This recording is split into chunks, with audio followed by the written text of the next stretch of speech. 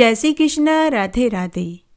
जय हो श्री धर्मराज जी की। अगर आप मकर संक्रांति के दिन से धर्मराज जी की कहानी सुनने का नियम ले रहे हैं तो आपको धर्मराज जी की कहानी के साथ इन ग्यारह कहानियों को भी ज़रूर सुनना चाहिए। तभी धर्मराज जी की कहानी सुनने का संपूर्ण फल प्राप्त होगा।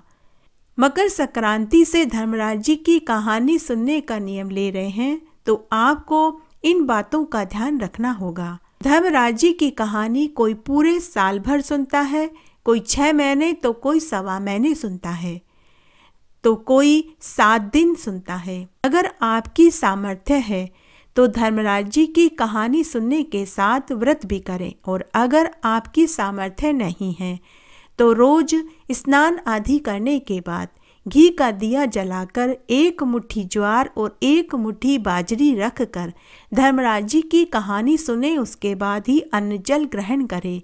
फिर इस एक मुट्ठी ज्वार और बाजरी को चिड़ी कबूतरों को डाल दें दूसरे दिन पुनः स्नान आदि करने के बाद घी का दीपक जलावें और एक मुट्ठी ज्वार और बाजरी रख कर फिर से कहानी सुने।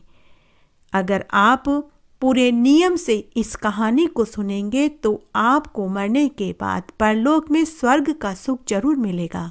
मैं आपको इस वीडियो में जिन कहानियों को सुनाऊँगी, अंत में उन कहानियों की उद्यापन विधि भी बताऊँगी। आइए सबसे पहले धर्मराज जी की प्रमुख पौराणिक सत्य कथा सुनते हैं। एक बार एक गाँव में एक ब्राह्मण दंपति रहते थे। ब्राह्मण दंपति के दो लड़के थे। और एक विधवा पुत्री थी। ब्राह्मण दंपति बड़े ही गरीब थे। लेकिन वे हमेशा अतिथि सेवा किया करते थे। हर रोज एक अतिथि को भोजन कराने के बाद ही वे भोजन करते थे। ब्राह्मण दंपति ने यह नियम ले रखा था। संजोग से अगर किसी दिन अतिथि उनके घर नहीं आता तो वे गाय को घास और चिड़िया को दाना और कुत्ते को रोटी खिलाने के बाद ही भोजन करते थे। तब एक बार की बात है। चौमासे का समय था। लगातार चार दिन तक बरसात होती रही। ब्राह्मण के आँगन में अतिथि तो क्या? चिड़िया तक नहीं आई। ब्राह्मण अपने नियम का पक्का था। इसलिए उसने चार दिन तक अन्न जल ग्रहण नहीं किया। ब्राह्मण की यह कठोर परीक्षा थी। वह भूखों मरने लगा। तब भगवान को उसके ऊपर दया आ गई। तब भगवान ने हंस और हंसनी का रूप धारण करके ब्राह्मण के आँगन में आए। स्वयं भगवान विष्णु और माता लक्ष्मी ब्राह्मण का नियम रखने हेतु आए थे। ब्राह्मण कुटुंब यह देखकर बड़ा प्रसन्न हुआ। घर में से दाने लाकर आँगन में डाल दिए, लेकिन हंस और हंसनी ने एक भी दाना नहीं चुगा। यह देखकर ब्राह्मण दंपति दुखी हो गए कि तभी हंस का वाचा फूटा। हंस बोला कि, हे ब्राह्मण देव, हम तो मान सरोवर के हंस हैं। हम तो केवल सच्चे मोती ही खाते हैं। यह सुनकर ब्राह्मण दुविधा में पड़ गया। वह मनी मन सोचने लगा कि हमारे खुद के खाने के फाके हैं, सच्चे मोती कहाँ से लाएँगे? लेकिन ब्राह्मणी बड़ी ही समझदार थी। ब्राह्मणी ने हिम्मत जुटाई और गाँव के झवेरी के पास गई और अपने घर के कागजात गिरवी रख कर सवासेर मोती उधार मांग लाई। और लाकर आँगन में बखेर दिए। हंस और हंसनी ने प्रसन्नता पूर्वक सच्चे मोती खाए और आशीर्वाद देकर पानी पीकर उड़ गए। चार दिन से भूखे ब्राह्मण दंपति ने अपनी बेटी के साथ भोजन खाया। भोजन खाने के बाद ब्राह्मण की बेटी जब बर्तन मांझने आँगन में आई तो उसने देखा कि एक कोने में एक मोती पड़ा रह गया था। उसने उस मोती को उठाया और तुलसी क्यारे में डाल दिया। दूसरे दिन ब्राह्मण दंपति रोज की तरह सुबह जल्दी उठे। स्नान आदि करके तुलसी क्यारे को सींचने गए तो उसमें देखा कि तुलसी की डाल डाल में सच्चे मोतियों की लड़ी लटक रही थी। यह देखकर ब्राह्मण दंपति और उनकी बेटी आश्चर्य में पड़ गए। ब्राह्मण दंपति समझ गए कि वे हंस और हंसनी कोई और नहीं, स्वयं भगवान विष्णु और माता लक्ष्मी ही थे।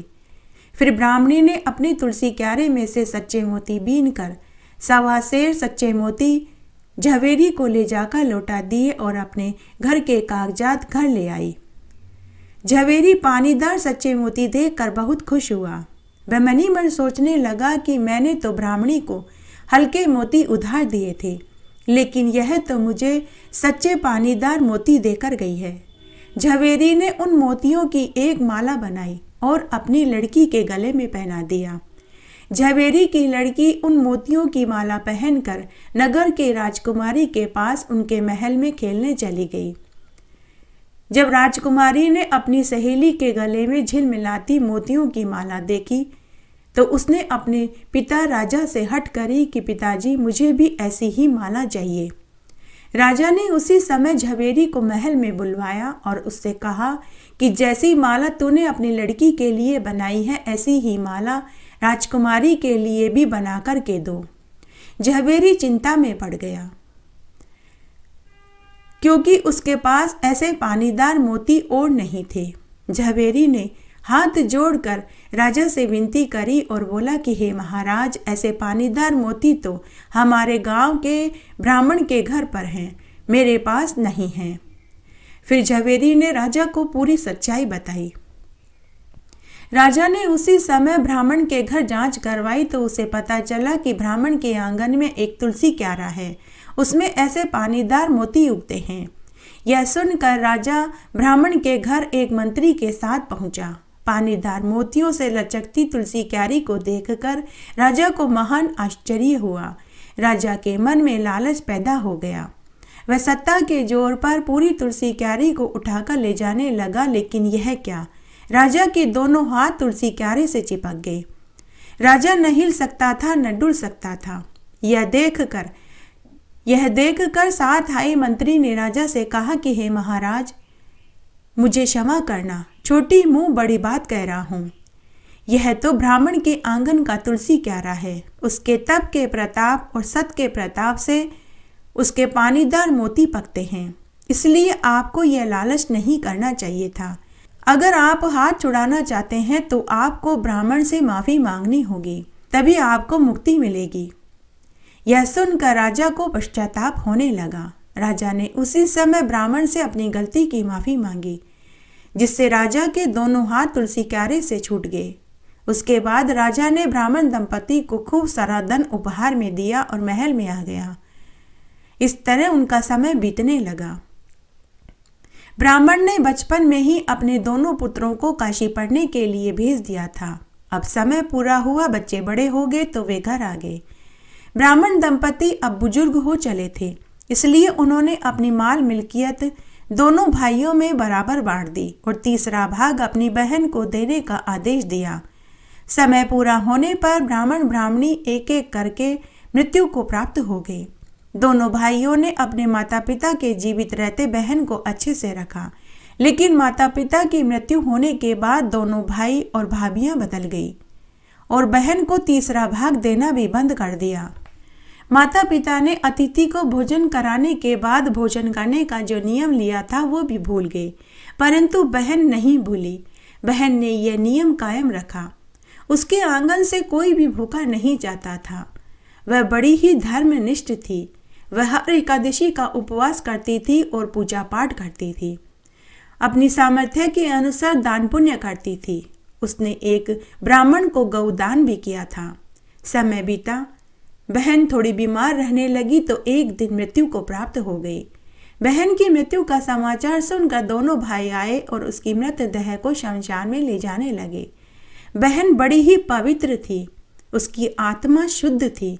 इसलिए उसके द्वारा किया गया गाय का दान उसको क्षण मात्र में वेतरनी नदी पार करा गया। उसके द्वारा किए गए जूते दान से उसको जरा भी गर्मी सहन नहीं करनी पड़ी। उसके द्वारा किए गए वस्त्र दान से गर्म सरियों पर कपड़ा लिपटा हुआ मिला। वह स्पर्श करते ही पार उतर गई।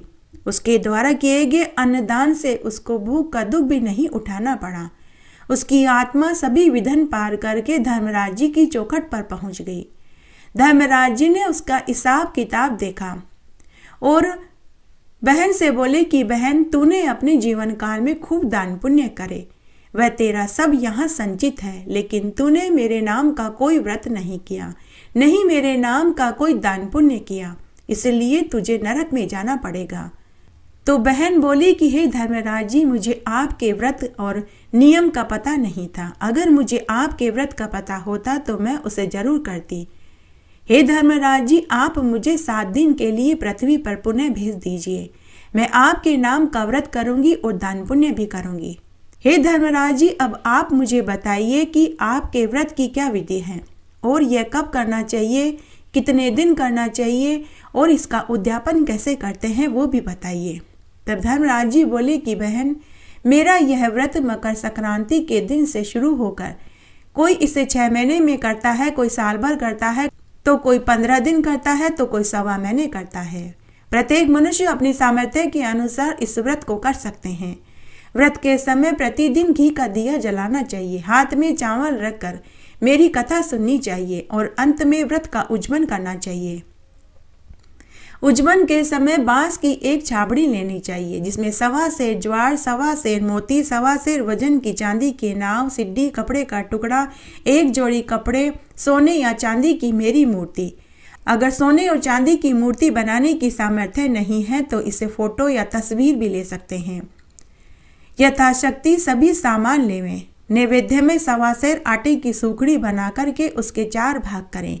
एक भाग छोटे बच्चों को देवे, दूसरा भाग गाय के ग्वाले को देवे, तीसरा भाग प्रसाद के रूप में कुटुंब कबीले में बांट देवे और चौथा भाग मंदिर में चढ़ा दें। तब बहन ने कहा कि, हे धर्मराज जी, अब आप मुझे सात दिन के लिए पृथ्वी पर छोड़ दीजिए। मैं आपके इस व्रत को करूँगी और उद्यापन भी करूँगी। उसी समय धर्मराज जी ने उसकी आत्मा को उसके मृत शरीर में छोड़ दिया। नीचे धरती पर उसे जलाने की तैयारी हो रही थी। कि तभी लक्ष्मी जी बुढ़िया का रूप धारण करके शमशान में पहुँच गई। और उसके भाइयों से बोली कि, ठहरो ठहरो, अभी इसे आग मत लगाओ, मुझे लड़की का मुँह देखना है। यह कहते हुए वह शव के पास गई और बहन के मुख पर हाथ फेरने लगी कि तभी बहन उठकर खड़ी हो गई और अंगड़ाई लेने लगी। वहाँ खड़े सभी लोग यह दृश्य देखकर स्तब्ध रह गए। बहन को जीवित देखकर भाई बहुत खुश हुए। वे अपने साथ उसे अपने घर ले जाने लगे। लेकिन बहन अपने भाइयों से बोली कि, भाइयों, मैं अपने ही घर में जाऊँगी। उसके बाद बहन बुढ़िया रूपी लक्ष्मी को अपने साथ घर में ले आई। बहन बुढ़िया रूपी लक्ष्मी माता से बोली कि, हे माता, मेरे व्रत के प्रताप से अब मुझे धर्मराज जी के दूत स्वर्ग में ले जाएँगे। माँ जी मैं आपको भी स्वर्ग में ले जाऊँगी। उसके बाद बहन घर आई। घर आकर उसने धर्मराज जी का व्रत करना शुरू किया। इस तरह सात दिन तक व्रत करने के बाद उसने सातवें दिन व्रत का उद्यापन कर दिया। समय पूरा होते ही बहन की मृत्यु हो गई। धर्मराज जी के दूत उसे स्वर्ग में ले गए। बहन स्वर्ग सिधार गई। उस समय घर में जगमगाते दिए जले। आँगन में कक्कू के पगले मंड गए मोती के सतिया बन गए। भाई भाभी और अड़ोसी पड़ोसी यह देख कर आश्चर्य में पड़ गए। इस प्रकार धर्मराज्य के व्रत के प्रताप और दान पुण्य से बहन को स्वर्ग मिला। साथ में बुढ़िया को भी स्वर्ग मिला। हे धर्मराज जी जो कोई भी आपका व्रत श्रद्धा पूर्वक करे, उस पर आप अपनी कृपा दृष्टि हमेशा बनाए रखना और उसकी आत्मा को सदगति देना। जय हो धर्मराज जी की जय। चार दरवाजों की कहानी। एक गाँव में एक साहूकारनी थी। उसका भरा पूरा परिवार था। साहूकारनी का पूरा परिवार धार्मिक प्रवृत्ति का था। साहूकारनी सभी तरह के व्रत उपवास दान पुण्य करती थी। सभी एकादशियों का उसने व्रत किया, उद्यापन किया। उसका नियम था कि वह किसी को भोजन खिलाकर ही भोजन खाती थी। उसके घर से कोई भी भूखा नहीं जाता था। वह पहली रोटी गाय को, आखिरी रोटी कुत्ते को देना नहीं भूलती थी। रोज बेनागा ब्रह्ममुहूर्त में उठकर नहा धोकर मंदिर जाती, बड़ पीपल सींचती। तुलसा जी को सींचती, कथा कहानियाँ सुनती। धरती माता की कहानी सुनी, उद्यापन किया। धर्मराज्य की कहानी सुनी, उद्यापन किया। खूब दान पुण्य किया। पोपाबाई की कहानी सुनी, साथ में उद्यापन भी किया। एक ब्राह्मण को गौ दान करा।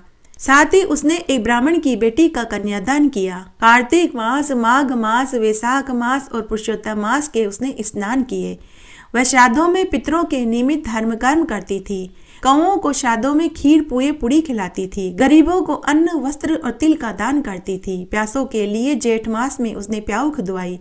परिवार व रिश्तेदारों को भी वह खूब देन लेन करती थी। जब तक जीवित रही, दोनों हाथों से दान करती रही।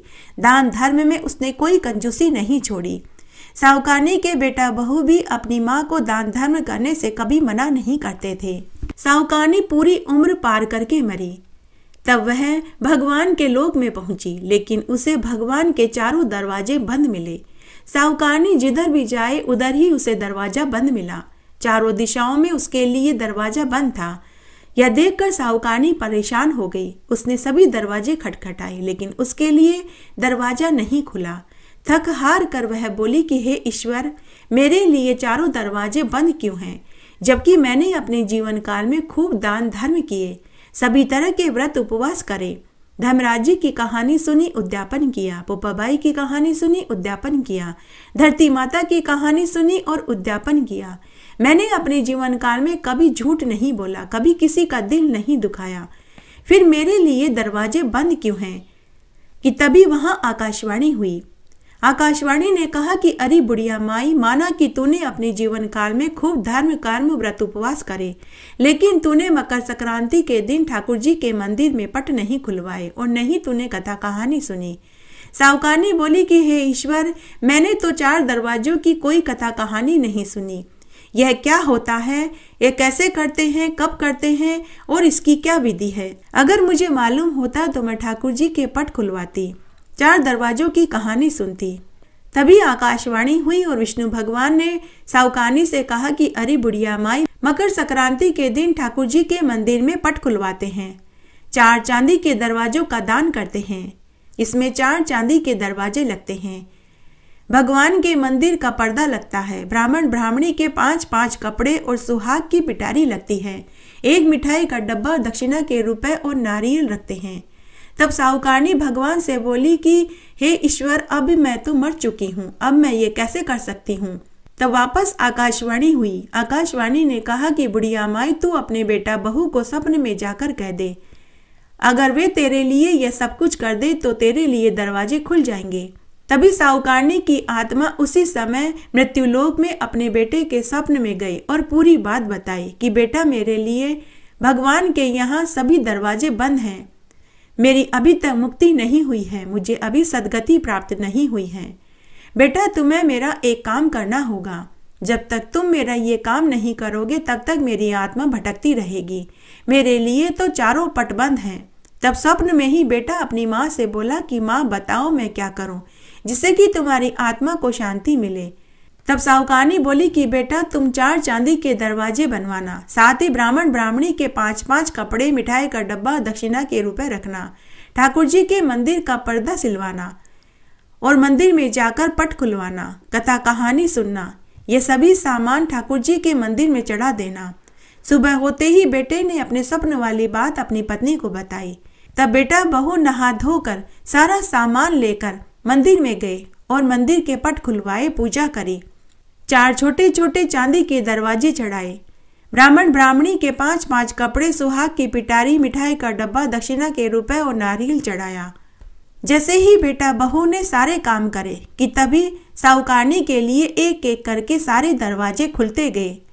जब साहूकारनी ने पहला दरवाज़ा खोला तो उसमें गंगा यमुना बह रही थी। साहूकार ने गंगा यमुना में खूब नहाई धोई। फिर उसने दूसरा दरवाज़ा खोला तो उसमें ठाकुर जी विराजमान थे। साहूकारनी ने वहाँ बैठकर खूब तन मन से सेवा पूजा करी, पाठ करे, भजन करे।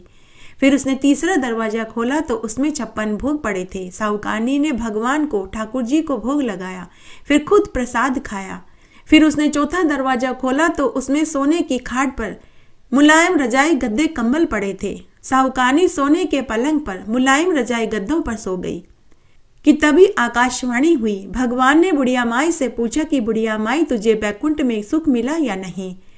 सावकानी बोली कि हे ईश्वर, ऐसा सुख तो मैं हर जन्म में चाहती हूँ। हे भगवान, जैसा सुख साहुकानी को मिला, वैसा हमको भी देना। कहानी कहने वाले को, सुनने वाले को और हुकारा भरने वाले को। घटती हो तो पूरी हो पूरी हो तो परवान चढ़े बुले बिसरे नाम तेरे भंडार में भरे। आइए आज हम धरती माता की कहानी सुनते हैं। एक बार एक बुढ़िया माई थी। वह बड़ी ही धार्मिक प्रवृत्ति की थी। वह सभी तरह के व्रत, उपवास और दान पुण्य किया करती थी। पीहर ससुराल में सभी तरह के नेकचार लेना देना करती थी। पूनम अमावस्या एकादशी का व्रत करती थी। पूनम अमावस्या एकादशी के व्रत करे और सबके उद्यापन भी करे। यहाँ तक कि धर्मराज जी की कथा कहानियाँ सुनी और उद्यापन किया। चित्रगुप्त जी की कहानी सुनी और उद्यापन किया पोपाबाई की कहानी सुनी और उसका भी उद्यापन कर दिया। जितने भी व्रत उसने करे एक एक करके उसने सबके उद्यापन कर दिए। तब एक दिन उसका देवलोक गमन हो गया। जब वह धर्मराज जी की नगरी में पहुँची तो उसे खड़े रहने के लिए ज़मीन नहीं मिली। वह पूरे समय अधर में ही झूलती रही। तब बुढ़िया माई ने धर्मराज जी से विनती करी कि हे महाराज, यहाँ जितने भी लोग मृत्यु लोक से आए हैं, सब धरती पर खड़े हैं। बस मुझे ही धरती पर खड़े रहने का स्थान नहीं मिला। जबकि मैंने अपने जीवन काल में कोई पाप नहीं किया। सभी तरह के मैंने व्रत करे, उपवास और दान पुण्य करे, नेकचार करे बेटियों, भतीजियों और भांजियों के मायरे भरे। तब धर्मराज जी बुढ़िया माई से बोले कि, अरे बुढ़िया माई, तू सच कहती है। तूने सभी नेकचार करे, लेकिन तूने धरती माता के नाम की न तो कहानी सुनी, न व्रत किया और न ही उद्यापन किया। तूने दो फुट धरती मोल नहीं ली। इसलिए तेरा कहना सच है। इसलिए यहाँ जितने भी लोग मृत्युलोक से आए हैं। उन्होंने धरती माता की कहानी सुनी, व्रत किया और उद्यापन किया और दो फुट धरती मोल ली थी। इसलिए इन्हें यहाँ धरती पर खड़े रहने का स्थान मिला है। और तू बीज अधर में ही झूल रही है। तब बुढ़िया माई ने धर्मराज जी से कहा कि मुझे इस व्रत के बारे में मालूम नहीं था। हे धर्मराज जी अगर मुझे इस व्रत के बारे में पता होता तो मैं ज़रूर व्रत करती और धरती मोल लेती और व्रत का उद्यापन भी करती। तब धर्मराज जी ने बुढ़िया माई से कहा कि, अरे बुढ़िया माई, धरती माता की कहानी सात दिन तक सुननी चाहिए। इसमें सवा मीटर लाल कपड़ा, सवा मीटर सफ़ेद कपड़ा लेते हैं। सवा मीटर ही ज़मीन को खोद करके ये दोनों कपड़े बिछाते हैं। फिर उसके ऊपर लाल और सफ़ेद कपड़ा बिछाते हैं। कपड़े के ऊपर रोली से छीटा देते हैं, चावल की ढेरी रखते हैं, मूली का टुकड़ा, मोली का टुकड़ा रखते हैं, नारियल रखते हैं, श्रद्धा अनुसार दक्षिणा के रुपए रखते हैं, मीठे में पताशा, गुड़ और मिठाई रख कर सात दिन तक किसी ब्राह्मणी से कहानी सुनते हैं। उसके बाद व्रत का उद्यापन करते हैं। उद्यापन में ये सभी सामान देते हैं। साथ में ब्राह्मणी के पहनने के लिए साड़ी, पेटीकोट, ब्लाउज, तोलिया और रुमाल भी देते हैं। और जिस ब्राह्मणी से सात दिन तक कहानी सुनते हैं, उसे यह सारा सामान देते हैं। तब वह बुढ़िया माई धर्मराज जी से बोली कि, हे धर्मराज जी अब आप मुझे सात दिन के लिए वापस मृत्युलोक में भेज दीजिए। मैं धरती माता की कहानी सुनूँगी, व्रत करूँगी और उद्यापन करूँगी और वापस आऊँगी। तब धर्मराज जी ने बुढ़िया माई की आत्मा को वापस उसके शरीर में छोड़ दिया। धरती पर उस बुढ़िया माई को जलाने की तैयारी हो रही थी कि तभी धर्मराज जी ने बुढ़िया माई की आत्मा वापस उसकी दह में छोड़ दी। जैसे ही मृत्युलोक में बुढ़िया की दह में हलचल हुई, वहाँ खड़े सभी लोग डर कर भागने लगे। बुढ़िया माई ने अपने बेटा और पोतों से कहा कि तुम जल्दी से मुझे घर ले चलो। धर्मराज जी ने मुझे सात दिन के लिए धरती पर भेजा है। मैं सात दिन तक धरती माता की कहानी सुनूँगी, व्रत करूँगी और उद्यापन करूँगी और वापस यमलोक में चली जाऊँगी। तब शमशान में खड़े सभी लोगों ने बुढ़िया माई से पूरी बात पूछी। तब बुढ़िया माई ने सभी को पूरी सच्चाई बताई। सभी लोग बुढ़िया माई को लेकर वापस घर आए। घर आने के बाद बुढ़िया माई ने एक ब्राह्मणी से धरती माता की कहानी सुनी। सवा मीटर जितनी धरती खोदी। उसके ऊपर सवा मीटर लाल कपड़ा, फिर सफ़ेद कपड़ा बिछाया। रोली मोली चावल गुड़ दक्षिणा के रुपए रखे। सात दिन तक ब्राह्मणी से कहानी सुनी, व्रत किया और फिर उद्यापन किया। और जिस ब्राह्मणी से कहानी सुनी थी, उसे पूजा के सारे सामान दे दिए। साथ में स्वादिष्ट भोजन कराया और ब्लाउज, साड़ी, पेटीकोट, रुमाल, तोलिया भी दिया। बुढ़िया माई ने धरती माता को प्रणाम करके कहा कि, हे धरती माता, हे धरती माता, मैंने सवा मीटर धरती मोल ली है। मुझे मरने के बाद मृत्युलोक में खड़े रहने जितनी धरती देना और मेरे कष्टों को दूर करना, कि तभी एक देव विमान आया। बुढ़िया माई उसमें बैठकर धर्मराज जी की चौखट पर पहुँच गई। सभी ने बुढ़िया माई का स्वागत किया। धरती माता ने उसे फूलों का हार पहनाया। इस प्रकार बुढ़िया माई को खड़े रहने की जगह मिली। इसलिए हम सबको भी धरती माता की सात दिन तक कहानी सुननी चाहिए, व्रत करना चाहिए और उसके बाद में व्रत का उद्यापन करना चाहिए, ताकि मरने के बाद हमें भी खड़े रहने का स्थान मिल सके। घटती हो तो पूरी हो पूरी हो तो परवान चढ़े, भूले बिसरे नाम तेरे भंडार में भरे। पोपा बाई की कहानी। एक बार एक पोपा बाई थी। वह अपने भाई भाभी के साथ रहती थी। जब वह विवाह लायक हुई तो उसके भाई भाभी ने उसके लिए लड़के देखने शुरू कर दिए। जब पोपा बाई को पता चला कि उसके भाई भाभी उसकी शादी करना चाहते हैं तो पोपा बाई ने अपने भैया भाभी से शादी करने से इनकार कर दिया। पोपा बाई ने अपने भैया भाभी से कहा कि मैंने आजीवन कुंवारी रहने का प्रण लिया है, इसलिए मैं विवाह नहीं करूँगी। भैया भाभी ने पोपा बाई को बहुत समझाया, लेकिन वह नहीं मानी। पोपाबाई ने अपनी भैया भाभी से कहा कि आप मुझे जंगल में झोपड़ी बनाकर के दे दो मैं अपनी बाकी की ज़िंदगी वहीं भक्ति करके बिताऊँगी। तो उसके भैया भाभी ने अपनी बहन के लिए जंगल में झोपड़ी बनाकर के दे दी।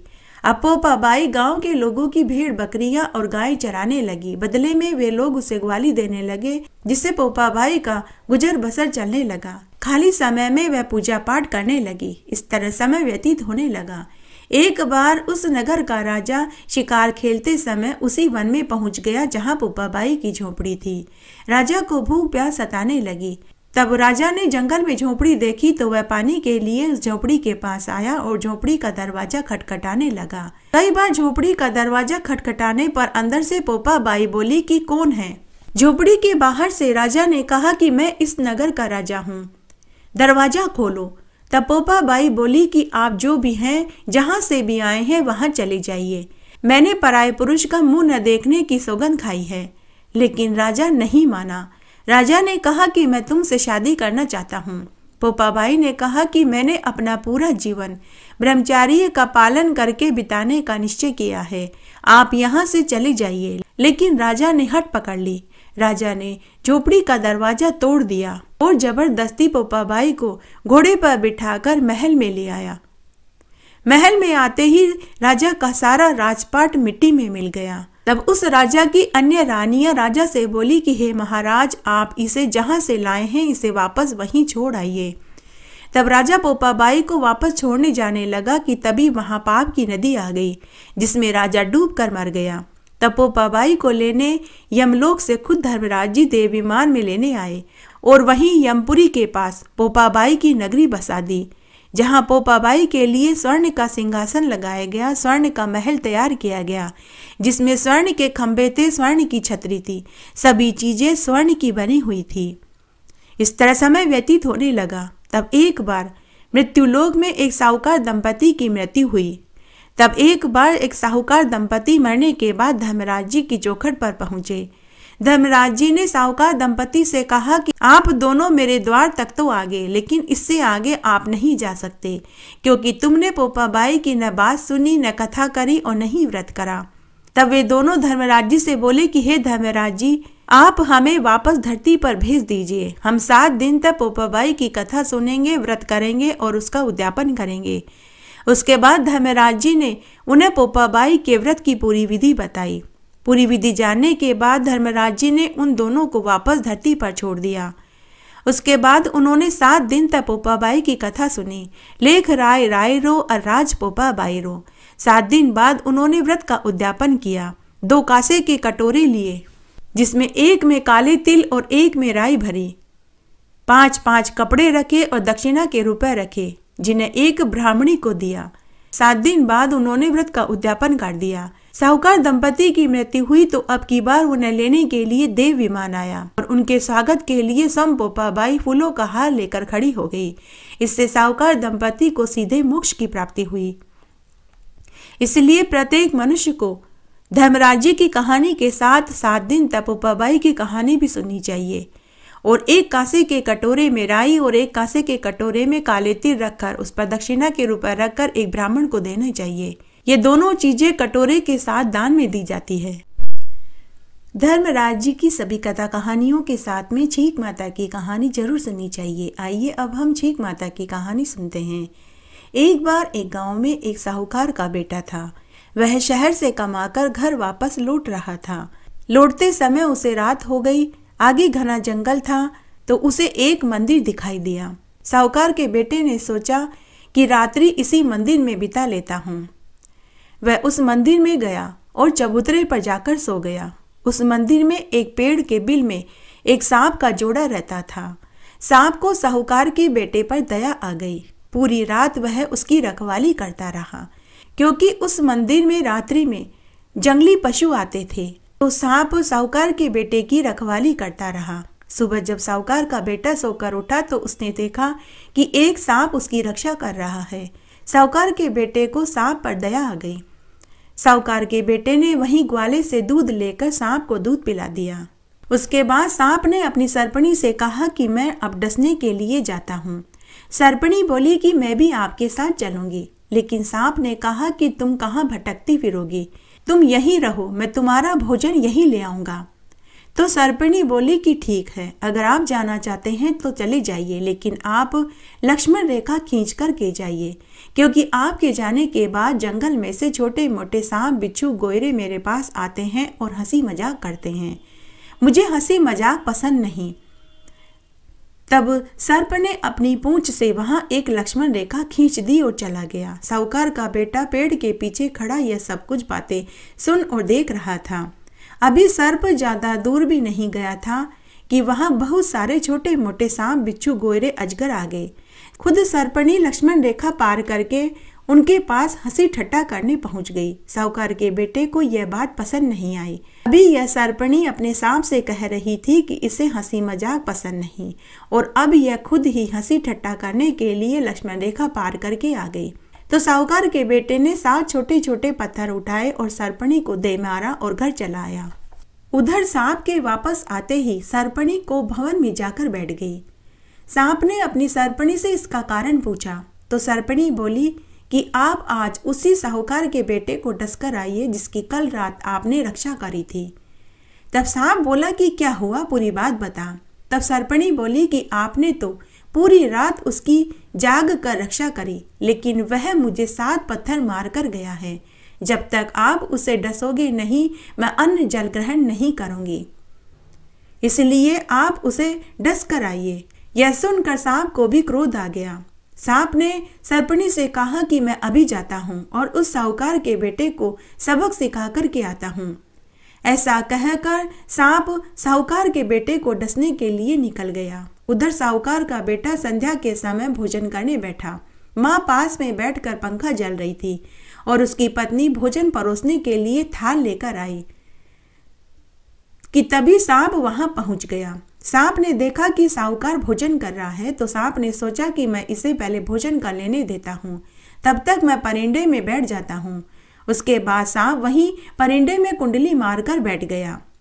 बहू ने जैसे ही भोजन परोसा कि उसे छींक आ गई। माँ ने भोजन परोसने से मना कर दिया। दूसरी बार बहू पानी का गिलास भरने उठी तो उसे फिर से छींक आ गई। माँ ने फिर से पानी का गिलास रखने से मना कर दिया। थोड़ी देर बाद बहू फिर उठी तो उसे फिर तीसरी बार छींक आ गई। माँ ने फिर भोजन परोसने से इनकार कर दिया।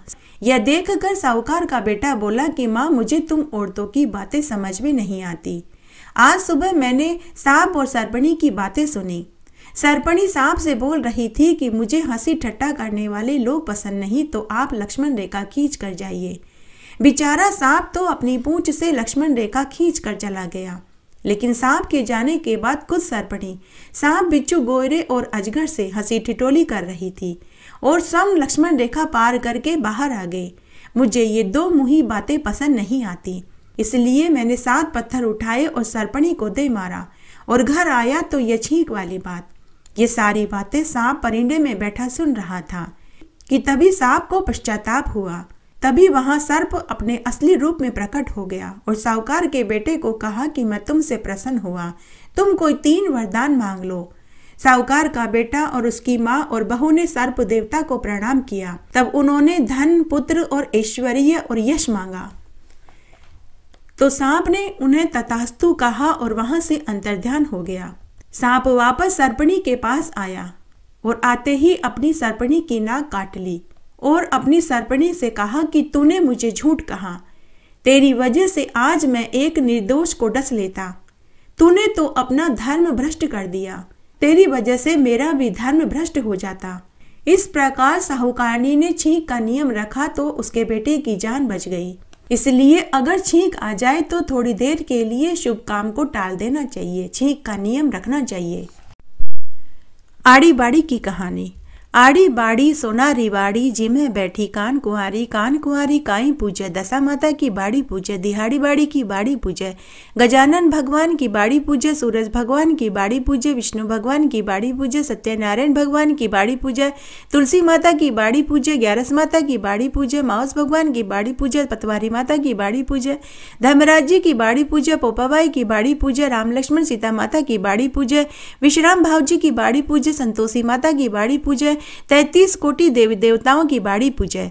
बाड़ी पूजे से काई होवे, अन्न होवे, धन होवे, लाज होवे, लक्ष्मी होवे, लाभ होवे, रिद्धि होवे, सिद्धि होवे, साईं जी को साथ होवे, पुता को परिवार होवे दोइता होवे, पोता होवे दोइता के लिए खीरखांड रांधे, पोता बहू के लिए राबड़ी रांधे, काटी लागे, राबड़ी मीठी लागे, खीर चढ़ी चढ़ाई लेखी आवे, गोरी ढूंढ विनायक, ढूंढना भरा, भांडना, सोना का ढाकना, रिमता जिमता, दूध में रांध्या, बहु परोस, सासू जी में सासू परोस, बहू जी में सासू खाट लिया बहू पाट मंदरिया मंदराली बात, गले टैका का आ बात कटे की है अमूल्य की डाल की कवे सरोवर की पाल की कवे अन्न के आटे की कवे जल के लोटे की कवे तुलसी के क्यारे की कवे चार भाई बहन की कवे जो मिले तो नगर होता नगर न बन पावे तो बारह मन का लाडू करे बारह मन का लाडू न बन पावे तो छह मन का लाडू करे छह मन का लाडू न बन पावे तो डेढ़ मन का लाडू करे डेढ़ मन का लाडू न बन पावे तो एक मन का लाडू करे एक मन का लाडू न बन पावे तो बारह महीने की बात लेकर बारह शेर का लाडू करे छह महीने की बात लेकर छह शेर का लाडू करे बारह शेर में तीन शेर गुड़ तीन शेर घी, छह शेर आटा लेकर बारह मन का बारह लाडू करे।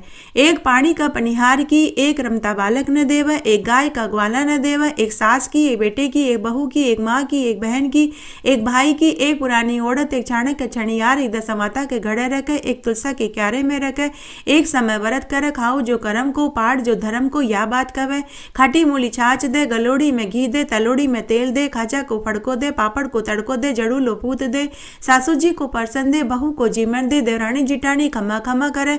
बोल बोलनी पाड़ोसन दे। दलिया गुणी गोबर दे, चोरनी आका नु आका चोरिया। थारा घर को धर्म थाने लगे, मारे घर को धर्म मने बढ़ाओ। पीपल पूजो, पनौती बरबर। मोतियों का थाल, दुख दर्द कम कर जो राजपाट दीजो, उठो बहु बेटी, गिलो सुको कामण गाओ। कामण की आवहात स्त्री रो कूचो मरद राहत गल मोतियन रोहार तैतीस कोटि देवी देवताओं ने नमस्कार। उठो भाई, तपसी जीमो भाई, लपसी भाई को थान, भाभी को मान, थान ताकि वार्ता को फल, माना माँ की कहानी, कथा और व्रत को फल। लपियो लपेसरी, तपियो तपेसरी, लपका में लपको फल मिले, तपका में तप को फल मिले, माना माँ की कहानी, कथा, व्रत को फल मिले। नगर बसेरे जो करे, मलमल धोवे पाप, ताता मांडा लापसी, देसी नारी माँ माँ देवन न मावसी, देसी नारो द्वार का कोनाथ मीठा मीठा घास वृंदावन को वास बैकुंठा को वास यो देसी नारो दीन बंधु दीनानाथ। पाँच कुलटी छठी रास, मेरे जी श्री कृष्ण का पास, डालू पानी हो जाएगी, जड़ से निकल जाओ मेरा जी। तुलसी जी की कहानी। आइए आज हम तुलसी जी की एक सत्य कथा सुनते हैं। एक बार एक गाँव में एक साहूकार अपनी पत्नी, बेटी और बूढ़ी माँ के साथ रहता था। साहूकार ने बड़ी ही धार्मिक प्रवृत्ति की थी। वह रोज सुबह ब्रह्मुहूर्त में उठती, स्नान आदि करके तुलसा जी को सींचती दिया बाती करती सूर्य नारायण भगवान को अर्घ्य देती ठाकुर जी की सेवा पूजा करती, भोग बना करके भोग लगाती। जब बेटी सावित्री अपनी माँ को पूजा पाठ करते देखती तो वह भी ऐसा ही करने लगी। वे सभी सुखी जीवन जी रहे थे, लेकिन शायद भगवान को कुछ और ही मंजूर था। एक दिन साहूकारनी अज्ञात बीमारी से चल बसी। कुछ महीनों के बाद परिवार वालों के दबाव में आकर साहूकार ने दूसरा विवाह कर लिया। सोतेली माँ ने एक साल तक तो सावित्री से अच्छा बर्ताव किया, लेकिन जब उसकी खुद की लड़की हो गई तो वह सावित्री से सोतेला बर्ताव करने लगी। घर का सारा कामकाज वह सावित्री से करवाने लगी। झाड़ू, पोछा, बर्तन, कपड़ा इत्यादि। सावित्री का पाठशाला जाना भी बंद करवा दिया, लेकिन सावित्री कुछ नहीं बोली। जैसा छोटी माँ कहती, वह वैसा ही करने लगी। घर के कामकाज के साथ वह तुलसा जी की सेवा पूजा दिया बाती करती रही। सूरज भगवान को अर्घ्य देती रही। जैसा उसकी माँ पूजा पाठ करती थी, ठीक वैसे ही सावित्री भी पूजा पाठ करने लगी। रात्रि में वह अपनी दादी के पास जाकर सोती। उसकी दादी उसे खूब लाड़कोड़ करती। उसे माँ का और दादी का सबके हिस्से का प्यार करती थी। समय अच्छे से बीत रहा था, लेकिन शायद भगवान ने सावित्री की परीक्षा कठोर करने का निर्णय ले लिया। ऐसा ही लग रहा था। तब एक दिन दादी भी चल बसी। साहूकार बड़ा ही लाचार महसूस करने लगा। उसने अपनी दूसरी पत्नी को बहुत समझाया कि सावित्री के साथ इतना कठोर बर्ताव न करे, लेकिन वह नहीं मानी। जब सावित्री विवाह लायक हुई तो सोतेली माँ ने सावित्री के लिए गरीब से गरीब घर ढूंढा, ताकि कोई दहेज न देना पड़े। तब एक गरीब लड़के से सोतेली माँ ने अपनी सोतेली बेटी सावित्री के फेरे पटकवा दिए। साहूकार ने अपनी बेटी को ढेरों आशीर्वाद दिया। जब सावित्री विदा होकर ससुराल जाने लगी तो सोतेली माँ ने अपनी सोतेली बेटी सावित्री से कहा कि अरी जाती जाती अपनी तुलसी का पौधा भी लेती जा। मेरे पास इतना समय नहीं जो रोज तेरी तुलसी के पौधे को सींचू, दिया बाती करूँ। तब सावित्री ने खुशी खुशी अपने तुलसी के पौधे को उठा लिया और ससुराल आ गई। उसी समय तुलसी रूप में माता लक्ष्मी साहूकार के घर से सावित्री के साथ उसके ससुराल में आ गई। ससुराल में बहू के प्रवेश के साथ ही खुशियों ने दस्तक दे दी। सावित्री के पति को अच्छी सरकारी नौकरी मिल गई। ससुर एक बहुत पुरानी ज़मीन जायदाद के केस में जीत गए। सास की ला इलाज बीमारी ठीक हो गई। तीन तीन कुंवारी नंदों की बहुत अच्छे पैसे वाले घरों में शादियाँ हो गई। सावित्री को दो साल में दो बेटे हुए। अब सावित्री नगर से ठानी कहलाने लगी। माता तुलसा के आशीर्वाद से उसके घर में धन धान्य, नौकर, चाकर, हाथी, घोड़े, ऊँट सब हो गए। उधर दूसरी तरफ़ सावित्री के सोतेली माँ के बहुत बुरे हाल हो गए। साहूकार का व्यापार ठप हो गया। घर, मकान, गाड़ी, दुकान सब नीलाम हो गए। वे कर्जे में डूब गए। व्यापार में घाटा लगने से साहूकार को सदमा लगा, जिससे हृदय घात से वह चल बसा। अब सोतेली माँ अपनी बेटी के साथ लोगों के घरों में झाड़ू पोछा करने लगी और पेट पालने लगी। हे माँ तुलसा, जैसे आप सावित्री की पूजा पाठ करने से प्रसन्न हुई, वैसे हमसे भी होना। कहानी कहने वाले की, सुनने वाले की और हुकारा भरने वाले की। एक बार एक गाँव में एक वणिक सेठ सेठानी थे। सेठ सेठानी बड़े ही पैसे वाले और अमीर थे। पूरे गाँव में उनकी बहुत इज़्ज़त थी। धन, धान्य, वैभव, सुख, समृद्धि, कीर्ति सब कुछ था। लेकिन शेर सेठानी के कोई औलाद नहीं थी। शादी के तीस बरस बीत गए। घर में माल मलकियत का कोई धनी धोरी नहीं था। सेठानी ने एक दिन सोचा कि हमारे पास इतना धन दौलत है। लेकिन इसका कोई उतरा अधिकारी नहीं। तब एक दिन सेठानी ने सेठ जी से कहा कि, हे स्वामी, आप मुझे एक गाय लाकर दीजिए। मैं गाय की सेवा पानी करना चाहती हूँ, ताकि हमारा अगला जन्म सुधर सके। पूरा समय मैं घर में अकेली रहती हूँ, मेरा मन नहीं लगता। गाय की सेवा पानी करूँगी, गोबर पोटे उठाऊँगी तो मेरा दिन अच्छे से निकल जाएगा। तो सेठ जी ने हामी भर दी। लेकिन पंद्रह दिन निकल गए, सेठ जी ने गाय लाकर ही नहीं दी। तब एक दिन सेठानी सोने चांदी की दुकान पर गई और वहाँ से एक चांदी की गाय लेकर आई। साथ ही चांदी की गाय के लिए सोने के जेवर घड़वा कर लाई। गाय के लिए सोने की पायल, गले की कंठी, गले का हार, माथे का मुकुट और सुंदर सुंदर रेशमी कपड़े सिलवा कर के लाई। अब सेठानी पूरे समय गाय की सेवा पूजा करने लगी। रोज गाय की पूजा करती कहानी सुनती, हलवा पूड़ी, खीर बनाती, भोग लगाती और घर के बाहर आने जाने वाली गाय को वह भोग खिला देती। अब सेठानी का समय गाय की पूजा पाठ करने में बीतने लगा। इस तरह पूरा एक साल हो गया। तब सेठानी सेठ जी से बोली कि, हे स्वामी, मुझे गाय की पूजा करते हुए एक साल हो गया है। मैं गाय का उद्यापन करना चाहती हूँ। आप कल गाँव में से एक ब्राह्मण को भोजन की कहकर आना। सेठ जी ने हामी भर दी। तब सेठ जी गाँव में एक पंडित को बुलाने गए और बोले कि, हे पंडित जी महाराज, हे पंडित जी महाराज, मेरी पत्नी गाय का उद्यापन करना चाहती है। आप कल मेरे यहाँ भोजन करने के लिए आना। ब्राह्मण ने हामी भर दी। तब शाम को ब्राह्मणी अपने पति से बोली कि, हे स्वामी, आप तो कल यजमान के यहाँ जीवने जाएँगे और हम भी प्रसादी खाने मंदिर में जाएँगे। तो ब्राह्मण बोला कि, अरे भगवान, मैं कल सेठ जी के यहाँ भोजन करने नहीं जा रहा।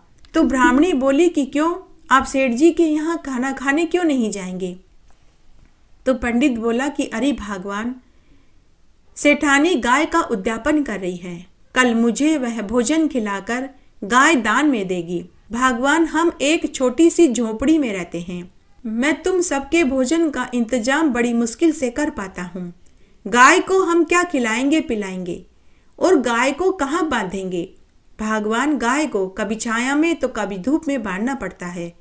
अगर मैं गाय की सेवा पानी अच्छे से नहीं कर पाऊँगा, गाय को अच्छे से खिला पिला नहीं पाऊँगा तो मेरे ऊपर गाय की हत्या का पाप चढ़ जाएगा।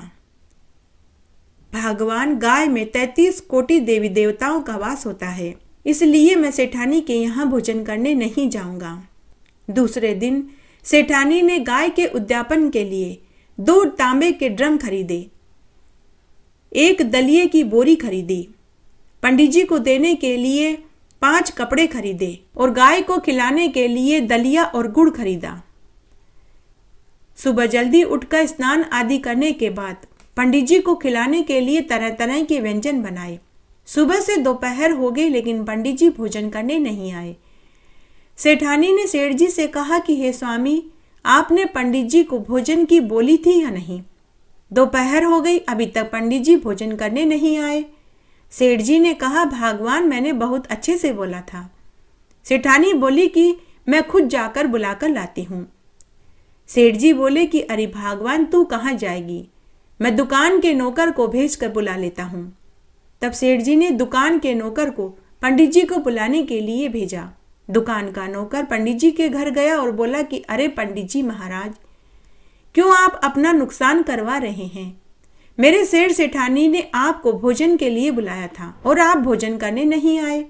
मेरे सेठ सेठानी आपको चांदी की गाय, गेहूँ, गुड़ की बोरी और दो बड़े बड़े तांबे के ड्रम देंगे। साथ में नकद नारायण और आपके कपड़े और दक्षिणा भी देंगे। यह सुनकर पंडित जी खुश हो गया। मनीमन सोचने लगा कि चलो चांदी की गाय मिलेगी, अन्न धन मिलेगा तो कोई दिक्कत ही नहीं है। पंडित जी उसी समय नौकर के साथ से सेठानी के घर भोजन करने के लिए आ गया। सेठानी ने पंडित जी का खूब आदर सत्कार किया। तरह तरह के व्यंजन खिलाए। विदा में चांदी की गाय दी, गाय के सोने चांदी के गहने, कपड़े दलिए और गुड़ की बोरी, पानी के लिए दो तांबे के ड्रम, पंडित जी के कपड़े और दक्षिणा के रुपए दिए। साथ ही खूब सारा भोजन भी दिया। पंडित जी यह देखकर बहुत खुश हुआ। पंडित जी ने शेर सेठानी को ढेरों आशीर्वाद दिए। समय बीतने लगा। इसे संयोग कहें या दुर्भाग्य कहें कि एक दिन शेर सेठानी की एक साथ ही मृत्यु हो गई। जब उनकी आत्मा यम मार्ग में जा रही थी तो रास्ते में वेतरणी नदी आई। तभी उनके सामने वही चांदी की गाय आकर खड़ी हो गई। सेठानी सेठ जी से बोली कि, हे स्वामी, आप इस गाय की पूंछ पकड़ लीजिए। हम वेतरणी नदी पार कर लेंगे। दोनों शेर सेठानी ने चांदी की बनी गाय की पूंछ पकड़ ली और बड़े ही आराम से वेतरणी नदी पार कर ली। तब सेठ जी ने सेठानी से कहा कि, अरे भगवान,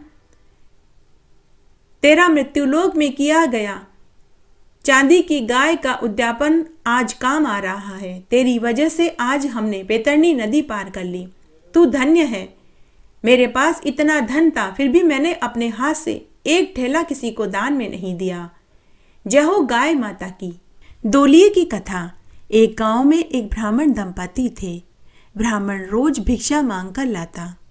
वह सात गाँवों में जाकर भिक्षा माँगता या सात घरों से भिक्षा माँगता या पूरे दिन भिक्षा माँगता, लेकिन उसे सात मुट्ठी ही आटा मिलता था। ब्राह्मण ब्राह्मणी गरीबी से बेहद दुखी रहने लगे। तब एक दिन ब्राह्मणी अपने पति से बोली कि, हे स्वामी, अब आप बाहर गाँव जाकर भिक्षा मांगा करें। हो सकता है कि वहाँ आपको ज़्यादा भिक्षा मिले। कल मैं आपको चार रोटी बना करके दे दूँगी। आप सुबह जल्दी ही उठकर बाहर गाँव चले जाना। दूसरे दिन ब्राह्मणी ने चार रोटी बना करके ब्राह्मण को पोटली में बाँध करके दे दी। ब्राह्मण रोटी की पोटली लेकर बाहर गाँव भिक्षा मांगने चला गया। ब्राह्मण जंगल के रास्ते से जा रहा था कि वहाँ एक पीपल के पेड़ के नीचे चबूतरे पर माता लक्ष्मी और घट जी चौपड़ पासा खेलते हुए मिले। जब ब्राह्मण उधर से गुजरा तो माता लक्ष्मी ने ब्राह्मण से कहा कि, अरे ब्राह्मण, रुको। हम चौपड़ पासा खेल रहे हैं। तुम यहाँ बैठ जाओ। जब खेल समाप्त हो जाए तो तुम बताना कि हम दोनों में से किसकी जीत और किसकी हार हुई। ब्राह्मण बड़ा ही भोला था, वह वहीं बैठ गया। ब्राह्मण का ध्यान पूरे समय माता लक्ष्मी को निहारने में ही बीत गया। उसने तो खेल की तरफ़ देखा भी नहीं कि कौन जीत रहा है और कौन हार रहा है। वह पूरे समय यही सोचता रहा कि माता लक्ष्मी ने कितने सारे स्वर्ण के आभूषण पहन रखे हैं। घरजी के पास तो कुछ भी नहीं। वह मनी मन सोचने लगा कि चाहे किसी की भी जीत हो, मैं तो माता लक्ष्मी को ही जितवा दूँगा। इस तरह सोचते सोचते संध्या हो गई और खेल खत्म हो गया। माता लक्ष्मी ने ब्राह्मण से पूछा कि ब्राह्मण सच सच बताओ, हम दोनों में से किसकी जीत हुई? ब्राह्मण बिना सोचे समझे ही बोला कि हे माता लक्ष्मी, आपकी जीत हुई है। माता लक्ष्मी ने झट से अपने गले से नौ लड़ सोने का हार उतार करके ब्राह्मण को दे दिया। ब्राह्मण सोने का हार पाकर बहुत खुश हुआ और घर की ओर चल दिया। घर आकर ब्राह्मण ने सोने का हार अपनी पत्नी को पकड़ाया और पूरी बात बताई। ब्राह्मणी सोने का हार पाकर बहुत खुश हुई। रात्रि में ब्राह्मणी ने सोने का हार कुटी पर टांग दिया और सो गए। दूसरे दिन सुबह पड़ोसन चूल्हे की अग्नि लेने ब्राह्मण के घर आई। उसने खूटी पर सोने का हार टंगा देखा तो वह चुपचाप चुरा करके सोने का हार ले गई। जब ब्राह्मणी ने सोने का हार कुटी पर नहीं पाया तो दोनों ब्राह्मण दंपति मन महसूस कर रह गए। दूसरे दिन वापस ब्राह्मण जंगल में उसी स्थान पर उसी पेड़ के पास गया। वहाँ वापस माता लक्ष्मी और घटजी चौपड़ पासा खेल रहे थे। ब्राह्मण फिर से साक्षी बनने के लिए बैठ गया। शाम को वापस ब्राह्मण ने कहा कि, हे माता लक्ष्मी, आपकी जीत हुई है। लक्ष्मी जी ने वापस ब्राह्मण को सोने के मोरों की थैली पकड़ा दी। ब्राह्मण सोने की मोरों की थैली पाकर बहुत खुश हुआ। वह वापस जंगल के रास्ते से घर आ रहा था। कि रास्ते में उसे एक गडरिया मिला। गडरिये ने ब्राह्मण से पूछा कि, हे ब्राह्मण देव, इतनी रात्रि में आप कहाँ से आ रहे हैं? ब्राह्मण ने गडरिये को पूरी सच्चाई बता दी। गडरिया बड़ा ही चालाक था। उसने धोखे से ब्राह्मण की सोने की मोरों की थैली हड़प ली। ब्राह्मण घर आया। जब उसने कुर्ते की जेब में सोने के मोरों की थैली निकालनी चाहिए तो जेब खाली मिली। पत्नी ने कहा कि, रास्ते में कौन मिला था? तब ब्राह्मण ने गडरिये के होने वाली बात बताई और साथ ही कहा कि मैंने गडरिये को पूरी सच्चाई बता दी थी, हो न हो, उसी ने धोखे से मेरे सोने की मुरों की थैली ले ली। ब्राह्मण ब्राह्मणी फिर से मन महसूस कर रह गई तीसरे दिन ब्राह्मण फिर से वहीं गया। फिर से ब्राह्मण ने माता लक्ष्मी को जीतने वाली बात कही। तो माता लक्ष्मी ने अब की बार ब्राह्मण को सोने की ईंट दी। ब्राह्मण सोने की ईंट पाकर बहुत खुश हुआ और खुशी खुशी वापस जंगल के रास्ते से आने लगा। तो चोरों ने ब्राह्मण को लूट लिया। ब्राह्मण दुखी मन से घर आया और अपनी पत्नी को पूरी बात बताई। तो ब्राह्मणी बोली कि, हे स्वामी, लक्ष्मी जी, जो भी जीत देती है, वो हमारे पास ठहरती ही नहीं। तो ब्राह्मणी ने कहा कि, हे स्वामी, आप कल घट जी को जितवा देना। चौथे दिन ब्राह्मण ने ऐसा ही किया। चौथे दिन खेल की समाप्ति पर ब्राह्मण ने घट जी की जीत हुई बताई।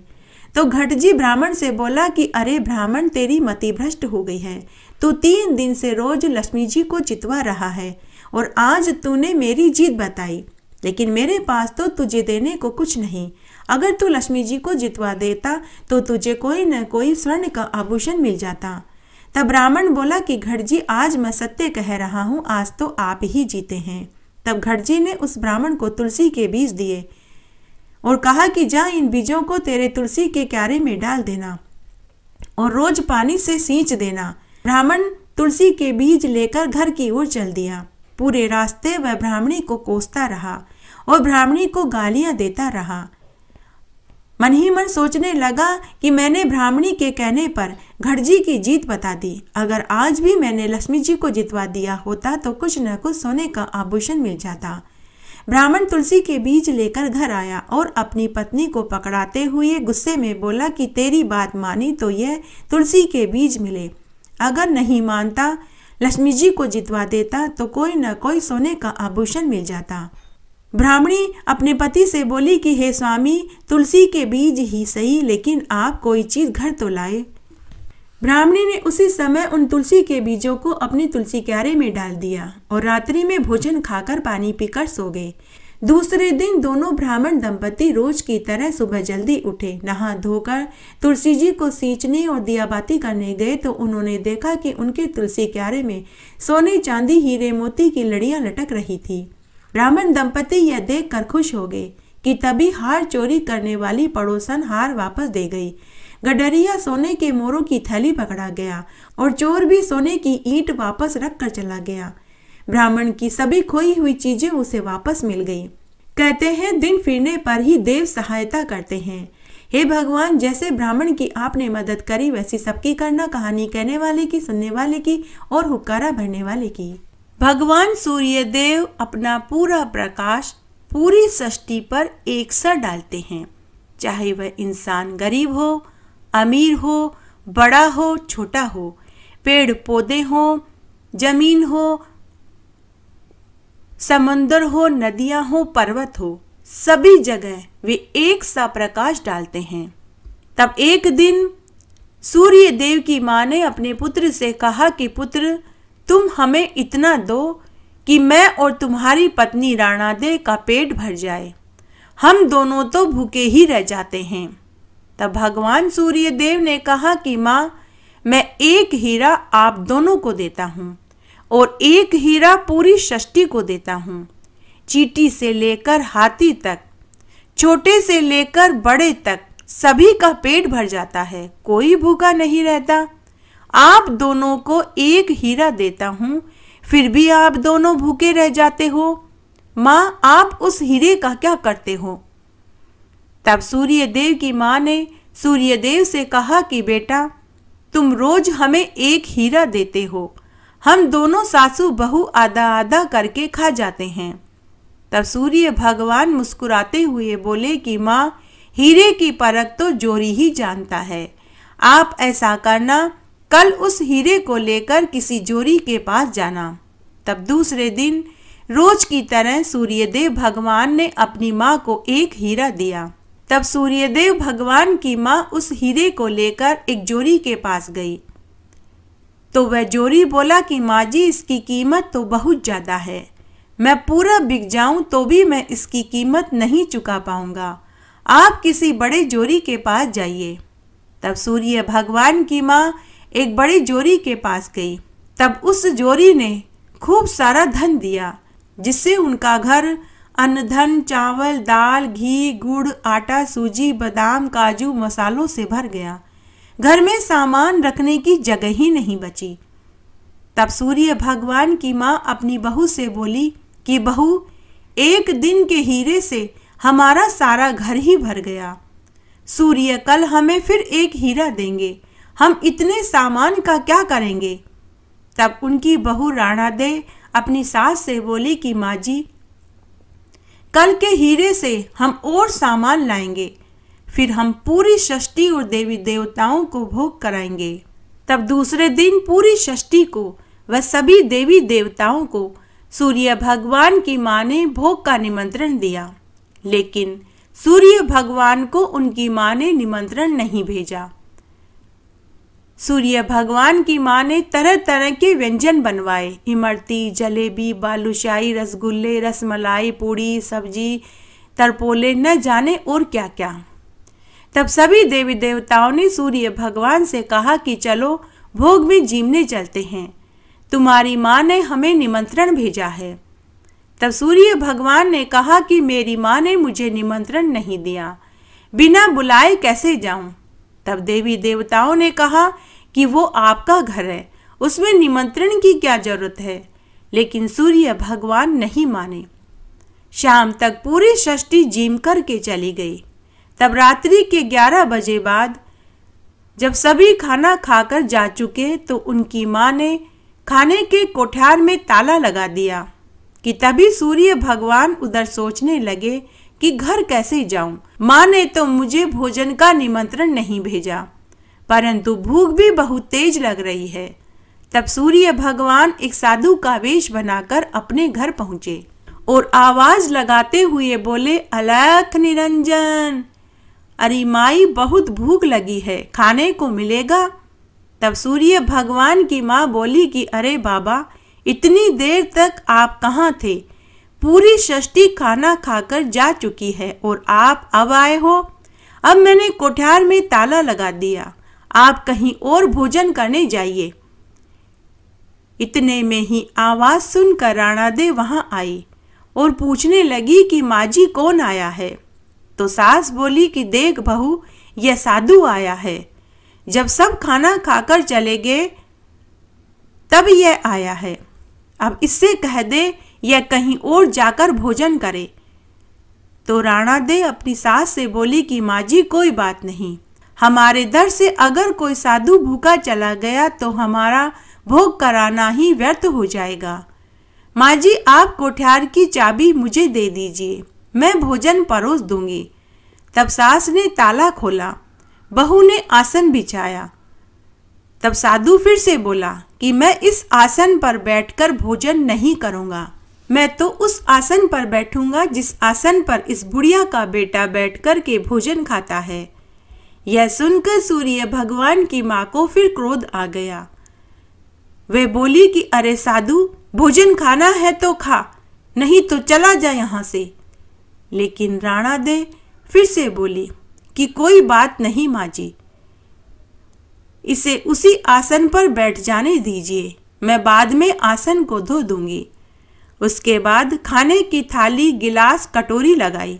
तो साधु फिर से बोला कि मैं उन्हीं बर्तनों में भोजन खाऊँगा जिन बर्तनों में इस बुढ़िया का बेटा भोजन खाता है। अब की बार सूर्य भगवान की माँ का क्रोध सातवें आसमान पर पहुँच गया। और वह बोली कि, अरे साधु, चुपचाप भोजन खाता है तो खा, नहीं तो रास्ता नाप। इतने तीन पाँच मत कर। लेकिन फिर से राणा दे बोली कि, कोई बात नहीं माँ जी क्या फ़र्क पड़ता है? अगर यह साधु उन बर्तनों में भोजन खाना चाहता है तो खा लेने दीजिए। बाद में मैं बर्तनों को भी मांझ कर रख दूँगी। उसके बाद साधु रूप में सूर्य भगवान ने जमकर भोजन खाया। भोजन खाने के बाद साधु रूप में सूर्य भगवान बुढ़िया माई से बोले कि, अरे बुढ़िया माई, रात्रि बहुत ज़्यादा हो गई है। मैं यहीं विश्राम करूँगा। मेरे सोने का इंतज़ाम करो। सूर्य भगवान की माँ तिल मिलाने लगी। बहू से कहकर बाहर बरामदे में पलंग और बिस्तर लगाने को कहा। परंतु साधु रूप में सूर्य भगवान बोले कि, बुढ़िया माई, मैं यहाँ नहीं सोऊँगा। मैं वहीं सोऊँगा जहाँ तेरा बेटा सोता है। तब राणा दे ने उन्हें अपने पति की सेज पर सुला दिया। उसके बाद सूर्य भगवान की माँ, जो दिन भर की थकी हुई थी, उसे भी नींद आने लगी। वो भी सोने चली गई। उधर राणा दे अपने पति को पहचान गई और वो बोली कि आपको इस तरह वेश बदलकर आने की क्या ज़रूरत थी? तब सूर्य भगवान बोले कि माँ ने सभी देवी देवताओं को भोजन का निमंत्रण भेजा, लेकिन मुझे नहीं दिया। माँ ने मेरे साथ छल किया तो मैंने भी छल रूप धरा। उसके बाद सूर्यदेव भगवान और राणादेव चौपड़ पासा खेलने लगे और रात्रि में सो गए। उस रात्रि में राणादेव को गर्भ ठहर गया। सूर्यदेव सुबह जल्दी उठकर जाने लगे तो हड़बड़ी में उनकी अंगूठी और एक मोचड़ी वहीं रह गई। नवे महीने में राणादेव को एक सुंदर पुत्र पैदा हुआ। तब उसकी सास अपनी बहू को ताने देने लगी कि यह किसका बेटा है?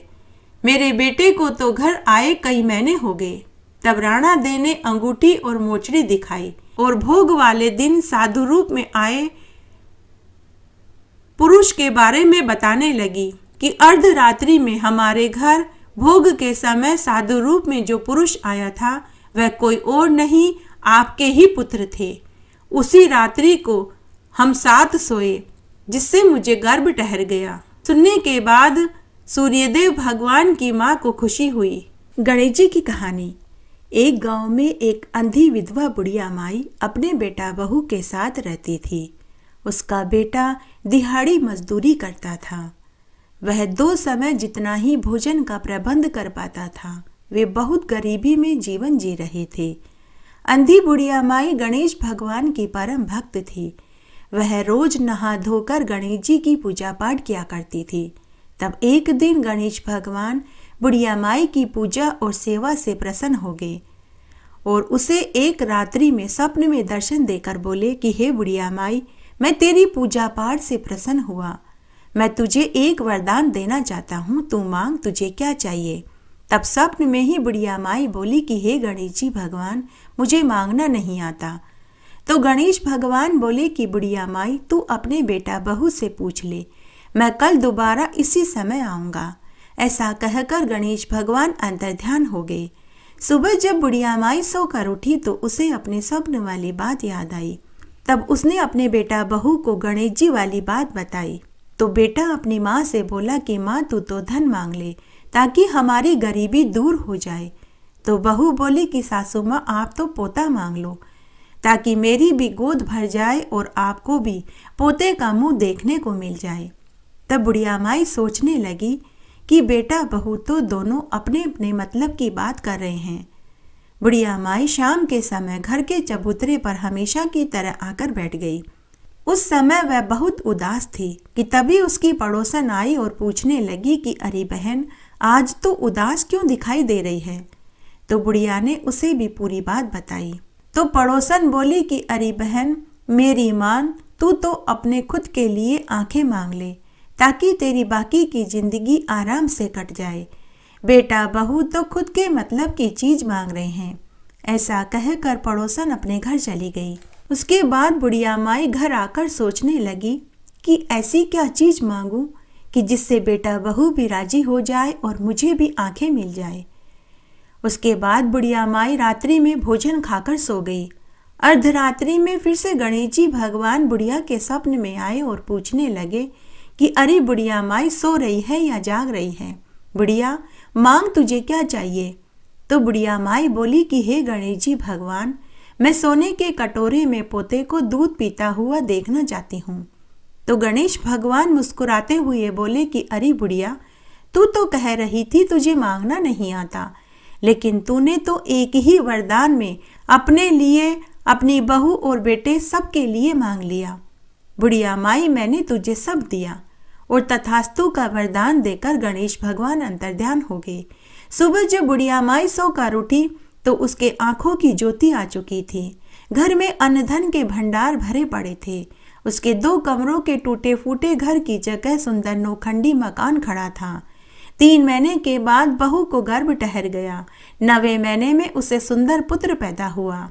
तब बुढ़िया माई ने अपने पोते को सोने के झूले में झूला झूलते हुए देखा। सोने के कटोरे में दूध पीते हुए देखा। हे गणेश जी भगवान, जैसा सुख आपने बुढ़िया माई को दिया, वैसा सबको देना। कहानी कहने वाले को, सुनने वाले को और हुकारा भरने वाले को। घटती हो तो पूरी हो पूरी हो तो परवान चढ़े बोले बिसरे नाम तेरे भंडार में भरे। हमने पूरी ग्यारह कहानियाँ सुनी। तो अब हम इन कहानियों की उद्यापन विधि भी जान लेते हैं। सबसे पहले धर्मराज जी की कहानी की उद्यापन विधि जानते हैं। धर्मराज जी की कहानी और व्रत का उद्यापन करते समय पाँच किलो ज्वार, पाँच किलो बाजरी, सवा किलो तिल या फिर तिल की मिठाई, ब्राह्मण ब्राह्मणी के पाँच पाँच कपड़े धर्मराज जी और चित्रगुप्त जी की चांदी की प्रतिमा अगर सामर्थ्य नहीं है तो आप मूर्ति और तस्वीर भी ले सकते हैं। चांदी की छोटी सी सिड्डी आप लेवे। अगर सामर्थ्य नहीं है तो चांदी का तार भी रख सकते हैं। रजाई, गद्दा, तकिया, पलंग, छाता, जूता और लालटेन और पाँच बर्तन। अगर सामर्थ्य है तो आप इसमें बढ़ोतरी कर सकते हैं और अगर नहीं है तो आप इसमें कटौती भी कर सकते हैं। इन सभी सामान को मंदिर में किसी ब्राह्मण और ब्राह्मणी को देवें। यही धर्मराज जी के व्रत और कहानी की उद्यापन विधि है। चार दरवाजों की कहानी। चार दरवाजों की कहानी की उद्यापन विधि इस प्रकार है। इसके अंदर भगवान के मंदिर का पट खुलवाया जाता है।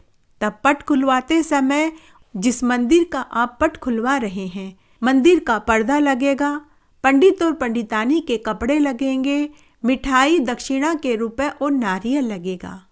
और चार चांदी के दरवाजे लगेंगे। ये चार चांदी के दरवाजे आप किसी सोने चांदी की दुकान पर जाकर छोटे छोटे चार चांदी के दरवाजे बनवा सकते हैं। चार दरवाजों के कहानी और व्रत का यही उद्यापन विधि है। धरती माता की कहानी का उद्यापन। अगर आप धरती माता की कहानी सुन रहे हैं तो इसके उद्यापन की विधि बड़ी ही सरल है। इसमें सवा मीटर लाल कपड़ा, सवा मीटर सफ़ेद कपड़ा रोली, मोली, चावल, नारियल, दक्षिणा के रुपए और मिठाई। जिस भी पंडितानी से आप धरती माता की कहानी सुन रहे हैं, यह सारे सामान उस पंडितानी को भोजन खिला कर के दे देवे इसमें आप बढ़ोतरी भी कर सकते हैं और आप इसे घटा भी सकते हैं। पोपा बाई की कहानी। पोपा बाई की कहानी की उद्यापन विधि। पोपाबाई की कहानी की उद्यापन विधि में दो कांसे के कटोरे लगेंगे। एक कटोरे में राई भरी जाती है और दूसरे कटोरे में काले और सफ़ेद मिश्रित तिल भरे जाते हैं। इनके ऊपर दक्षिणा के रुपए रखकर किसी मंदिर में पंडित या पंडितानी को कटोरे सहित दान में दिया जाता है। यही पोपाबाई के व्रत और कहानी की उद्यापन विधि है। छीक माता की कहानी। छीक माता की कहानी की उद्यापन विधि। इस कहानी की उद्यापन विधि में किसी पंडित या पंडितानी को जोड़े सहित घर बुलाकर के भोजन खिलाएँ और अपनी सामर्थ्य अनुसार उन्हें दान दक्षिणा देवें। आड़ी बाड़ी की कहानी की उद्यापन विधि। आड़ी बाड़ी की कहानी की उद्यापन विधि में किसी ब्राह्मण या ब्राह्मणी को घर बुलाकर के भोजन खिलावे और उन्हें दक्षिणा के रूप देवें। तुलसी माता के व्रत की और कहानी की उद्यापन विधि। तुलसी माता के व्रत और कहानी की उद्यापन विधि में आप ब्राह्मण ब्राह्मणी को जोड़े सहित घर बुलाकर के भोजन खिलावें, उन्हें पाँच पाँच कपड़े देवें, दक्षिणा के रुपए देवें और ब्राह्मणी को सुहाग की पिटारी ज़रूर देवें। गाय माता के व्रत और कहानी की उद्यापन विधि। इसमें चांदी की गाय लगेगी या फिर गाय के निमित्त दक्षिणा के रुपए लगेंगे? छह महीने या सवा महीने गाय जितना चारा खाती है, वह चारा लगेगा, दलिया और गुड़ लगेगा। आप ये सारे सामान एक ब्राह्मण को घर बुलाकर के भोजन खिलावें और यह उसे दान में देवें। दोलिए की कथा। दोलिए की कथा में आप अपनी सामर्थ्य अनुसार विष्णु भगवान और लक्ष्मी माता के मंदिर में मिठाई, नारियल, अन्न, वस्त्र, रुपया दान में देवें। सूर्यदेव भगवान की कहानी की उद्यापन विधि। सूर्यदेव भगवान की कहानी की उद्यापन विधि में लाल रंग की वस्तु लगेगी, जैसे लाल रंग का कपड़ा, लाल रंग का सिंदूर, तांबे का लोटा और गुड़, या किसी मंदिर में आप दान में दे सकते हैं। तो इससे सूर्यदेव भगवान के व्रत की उद्यापन विधि संपूर्ण हो जाती है। गणेश जी की कहानी की उद्यापन विधि इसमें गणेश भगवान के मंदिर में जाकर बेसन के लड्डू, दक्षिणा के रुपए और फूल माला आप मंदिर में चढ़ा देवें। यही गणेश भगवान की कहानी की उद्यापन विधि है। ये सभी उद्यापन विधि आप अपनी सामर्थ्य अनुसार इसमें बढ़ा भी सकते हैं और घटा भी सकते हैं। इस तरह आज मैंने आपको मकर संक्रांति के दिन से सुनी जाने वाली धर्मराज जी की कहानी के साथ सुनी जाने वाली ग्यारह कहानियाँ सुनाई। साथ ही मैंने आपको इन सभी कहानियों की उद्यापन विधि भी बताई। आशा करती हूँ आपको ये कहानियाँ और उद्यापन की संपूर्ण विधि अच्छे से समझ में आई होगी और आपको इन कहानियों को सुनने का संपूर्ण फल प्राप्त होगा। जय हो श्री धर्मराज जी की। मेरे साथ बने रहने के लिए आपका धन्यवाद। आगे आने वाली कथा कहानी के लिए भी आप इसी तरह मेरे साथ बने रहें। धन्यवाद.